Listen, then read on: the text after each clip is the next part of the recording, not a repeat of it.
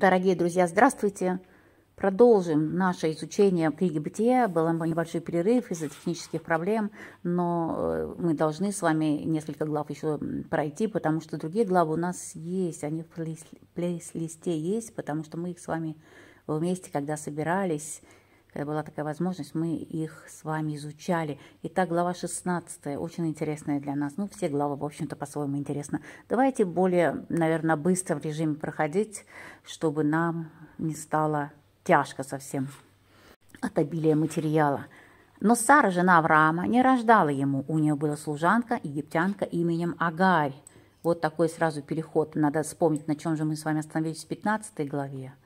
Мы помним, что в 15 главе очень важная глава, когда Господь заключает завет с Авраамом, тот самый завет, который ляжет в основу всего дальнейшего человечества, потому что от Авраама, отца веры, пойдут все верующие. Завет с ним, Господом, заключен, что я вас размножу, размножу вас, верующих, сделаю, как звезды на небе, если вы будете следовать путем моим и придерживаться того завета, который мы сейчас с тобой, Авраам, заключили, говорит Господь Бог. Итак, глава 16. Сара не рожала, уже, конечно, они старые, и у нее была служанка по имени Агарь. Много разных комментариев по поводу этого имени, по поводу Агарь. На иврите Агарь это и переводится как служанка, на арабском хаджар, то есть сама фигура Агари очень важна в истории человечества. Она прародительница э, всего арабского народа, ну, естественно, через своего сына Измаила. Очень много сцен живописи посвящено тому, как Агарь уходит с Измаилом из дома Авраама. Интересно, что в честь Агари даже назван астероид – который открыли в 1909 году, 1909. Это отступление, просто о том сказать, насколько велика фигура Агарии в истории всего дальнейшего человечества. И сказала Сара Аврааму, вот Господь заключил чрево мое, чтобы мне не рожать. Войди же к служанке моей, может быть, я буду иметь детей от нее. Авраам послушаться слов Сары. Какой послушный муж, да. Дело в том, что здесь надо э, кое-что добавить к этой странной для нас, для нашего времени сцены. Во-первых, у нас, конечно, тоже существуют такие примеры. Это суррогатное материнство. Но надо дополнить, что служанки, слуги, рабы принадлежали своим господам. Они были их собственностью. Поэтому она вполне могла э, такую вещь сказать, как собственность родит им ребенка их собственная служанка. В иудаизме был закон, он написан в Таре, что если брат твой умер, у него осталась вдова, то надо вдове пополнить семя. И такой брат назывался ливератным. То есть, если перевести дословно, то жена брата, снятие с нее вот этого проклятия, если она не имеет детей. То есть нужно продолжать было род. На чем он основывался? На вере, на большой огромной вере в Всевышнего. То есть здесь не присутствовало в таком вот либератном браке какие-то элементы влечения к женщине. Это исполнение заповеди. Сейчас либератный брак э, отменен и в иудаизме, который вот э, присутствует в данном нашем времени, потому что человек настолько потерял вот эту вот веру единого Бога, что просто сойтись с женщиной, с женой, вдовой, простите, брата твоего, э, просто без всякого вот наслоения блуда, и желания, и вот этих вот чувств не получается у человека уже. Раньше, видите, такое было возможно. Поэтому здесь повеление Сары произвести ребенка, оно не связано с вожделением служанки. И поэтому Авраам просто послушался просто для того, чтобы размножить семя их. И, взялся, и взяла Сара, жена Авраама, служанку свою, буквально взяла. Это не просто так здесь эти слова написаны. Просто они говорят о том еще раз, что она была служанка с собственностью своих господ.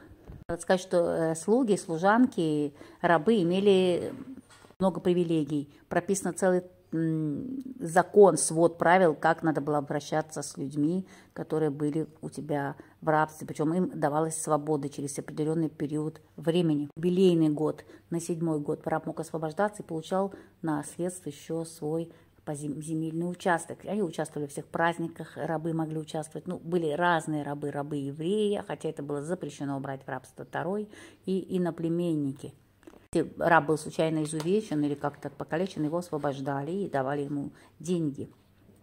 Если нечаянно был убит раб, то хозяин отвечал за это как за убийство. Вот 10 лет они были в земле ханаанской, детей не было, и взяла Сара, египтянку, свою служанку, дала ее Аврааму по истечении десяти лет пребывания Авраама в земле ханаанской, и дала ее Аврааму, мужу своему, в жены. Вот интересно, Господь сказал, что я тебя размножу, я тебе дам потомство. Но здесь, видите, не дожидаются Авраам с Сарой, когда Господь исполнит свое обещание – и начали действовать самостоятельно.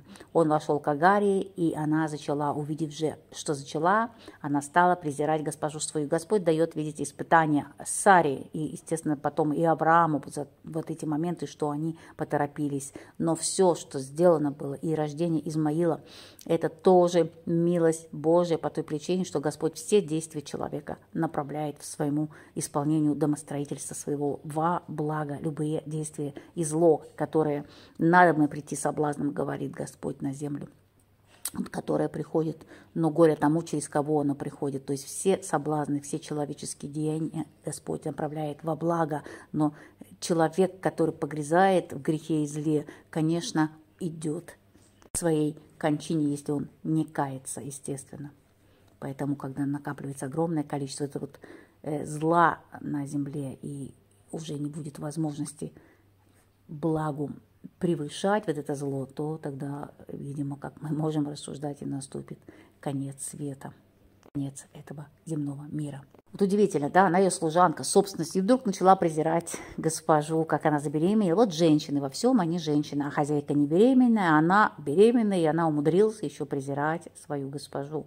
И сказала Сара Аврааму, в обиде моей ты виноват. Вот Авраам, конечно, всегда виноват. И отдала служанку мою, в недр твое я отдала. А она, увидев, что начала, стала презирать меня. Почему она вдруг стала обвинять Авраама? Господь пусть будет судьей между мной и между тобой. Почему? Потому что решила, что, наверное, Авраам не просто исполнил закон Тары, то есть Тары еще, конечно, не было, но законы уже были э, определенные в этом случае – продолжение семени, которые будут записаны в Таре, потом данные на Синае еврейскому народу. Но вот этот момент она решила, что, видимо, Авраам приложил еще какие-то усилия, кроме просто продления их рода, семени. Авраам сказал Саре, вот служанка твоя, и твоих, в твоих руках, делай с ней что тебе угодно. И Сара стала пристеснять ее, и она убежала от нее. То есть Агарь убежала в пустыню. Она беременна убегает в пустыню, и нашел ее ангел Господень, удивительно, да, нашел, то есть э, проискать увидел, конечно, искать ему, наверное, не приходилось, это для нас таким образом написано, то есть здесь присоединяется действие Бога, его прямое действие, хотя оно во всем есть, но такое действие, которое видит человек, непосредственно видит в физическом мире. И нашел я ангел Господень у источника воды в пустыне, у источника на дороге к Суру. И сказал ей ангел Господень, Агарь, служанка Сарина, «Откуда ты пришла и куда идешь?» Она сказала, «Я бегу от лица Сары, госпожи моей». Как вы думаете, не знает Господь, откуда пришла служанка и куда идет? Конечно же знает, но почему спрашивает? Это говорит, э, нам часто, кстати, такие моменты попадаются. Да, где ты, Адам, например? Что ты сделал с братом своим, спрашивает Каина. Это для того, чтобы человек отвечал Богу, наводящие, так скажем, вопросы. Ангел Господень сказал ей, возвратись к госпоже своей и покорись ей. Вот таким образом есть домостроительство Божье уже здесь, и на нее, и на Измаила, и на Авраама, и Сару. И сказал ей ангел Господень, умножаю, умножу потомство твое, так что нельзя будет исчесть его от множества. Друзья, видите, Агарь, египтянка, язычница, но Господь тоже ей дает такое благословление. Потому мы можем сказать, у Бога нет нелюбимых народов и нет нелюбимых людей, но есть домостроительство, есть воля Божия, есть план Божий на каждого человека, на каждый народ на этой земле. Если народ следует плану воли, которая дает Господь понять народу и человеку отдельному, то тогда такой народ процветает. И такой человек, конечно, тоже. И говорить о том, что Богу не угодно наше процветание на земле, неправда. Просто важно в том, кому это процветание направлено, для какой цели, и осознает ли человек, кто ему все дает, в какой степени он это осознает. И сказал ей ангел Господень Агаре, вот ты беременна и родишь сына, и наречешь ему имя Измаил, ибо услышал Господь страдания твое. Так что изначально имя Измаил, которое переводится с иврита «услышанный Богом», вот интересно, «услышанный Богом», Это изначально еврейское имя. Мы, мы читаем, «Ибо услышал Господь страдание твое». Он будет между людьми, как дикий осел. Руки его на всех, а руки все на него. Жить будет он перед лицом всех братьев своих. Какие интересные строки. Давайте попытаемся их понять. Надо здесь понимать, что осел, вообще животное, очень почитаемо было в иудаизме. И не зря же Мессия должен был явиться и явился в Иерусалим на осленке. Потому что осел, он животное достаточно молчаливое и очень терпеливое. Он может нести большую поклажу, никак не выражая своего протеста – и здесь тоже надо понимать, что значит э, руки всех на нем, а, а руки его на всех. То есть это брат, брат будет, он так и есть брат, да, Исаак.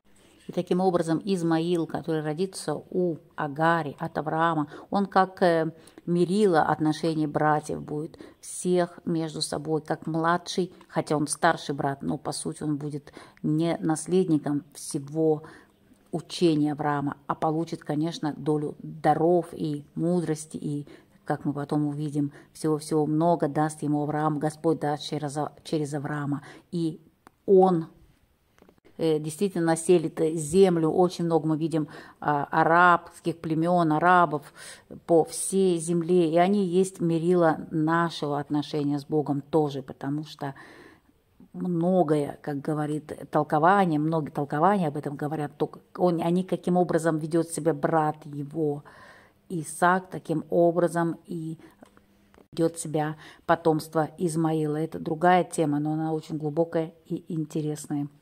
То есть некое мерило отношений всех племен друг с другом. И нарекла Агарь Господа, который говорил с ней сим именем «Ты Бог, видящий меня», ибо сказала она «Точно я видела, здесь след видящего меня». Ну, мы видим, что имя Измаил – это услышанный Богом, потому такое имя Господь и дал первенству, а, первенцу Авраама и служанке Агарь. Мы помним, что Господь сам себе дает имена, когда общается с человеком, в зависимости от того, что он этому человеку хочет объяснить, сказать и пояснить свои действия к нему. Здесь же Агарь сама нарекает Господа Бога именем «Ты Бог, видящий меня».